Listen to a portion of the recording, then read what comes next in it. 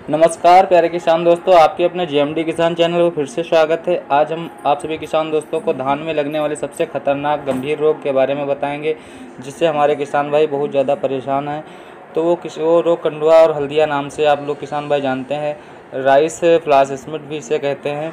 तो दोस्तों, इसके बारे में हम आपको देसी उपचार और घरेलू उपचार के बारे में बताएँगे और साथ में रासायनिक उपचार भी आपको हम बताएँगे इस वीडियो के माध्यम से। तो दोस्तों, कंडुआ रोग अपनी फ़सल से बचा सकते हो। इन उपचार का अगर आप कर लेते हो समय से पहले।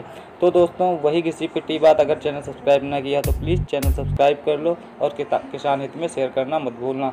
तो दोस्तों, सबसे पहले ये जान लें, ये रोग लगता क्यों है और कैसे लगता है? तो दोस्तों, ये रोग एक फफूंद जनित रोग होता है। यह रोग रोग शुरुआत से आपके खेत में पनपने लगता है। जब आप नर्सरी की बुआई करते हो तभी से। क्योंकि हमारे मार्केट में, प्राइवेट मार्केट से जब आप नर्सरी के बीज लाते हो तो इस, इसमें रोग लगने की ज़्यादा संभावना होती है, क्योंकि इस इस साल शंकर और पाइनियर बीज में ये रोग लगने की संभावना ज़्यादा हो गई है। तो किसान भाइयों, बीज जब भी लाएँ तो उसका शोधित करके ही बीज की बुआई करें, उसके बाद ट्रांसप्लांटिंग करें। फिर आपकी निरोग नर्सरी होगी, फिर ट्रांसप्लांटिंग कर सकते हैं। जैसे आपके झंडा रोग वगैरह लग जाते हैं आपके खेत में, ये सब इन्हीं का कारण होता है, क्योंकि ये सब फफूंद जनित रोग ही होते हैं। इसलिए आप फ़सल को अच्छी तरीके से पैदा करने के लिए पहले बीज को शोधित करें। दूसरी बात, ये रोग वायुजनित होता है।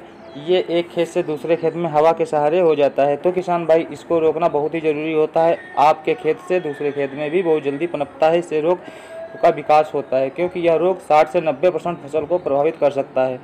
अगर तापमान अधिक हो तो यह रोग तेज़ी से फैलने लगता है। इसके अलावा, धान की फ़सल में जब किसान भाई यूरिया ज़्यादा प्रयोग करते हैं तो यह रोग ज़्यादा बढ़ जाता है।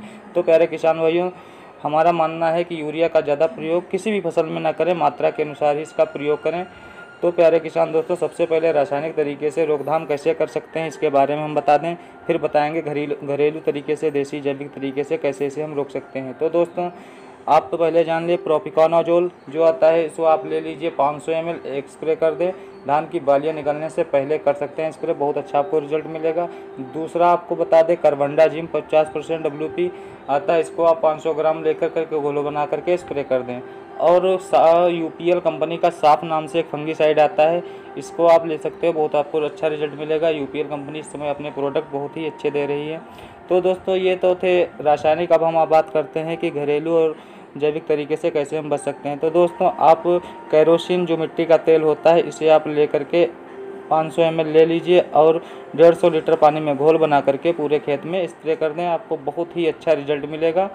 और इसका स्प्रे आप पहले भी कर सकते हो और अगर आपके खेत में रोग लग गया है, तब भी आप इसका स्प्रे कर दीजिए। बहुत अच्छा आपको रिज़ल्ट मिलने वाला है। ये हल्दी रोग, कंडुआ रोग, जो भी रोग होगा, ये आपके खेत से जड़ से ख़त्म हो जाएगा और आपकी फ़सल भी प्रभावित नहीं होगी।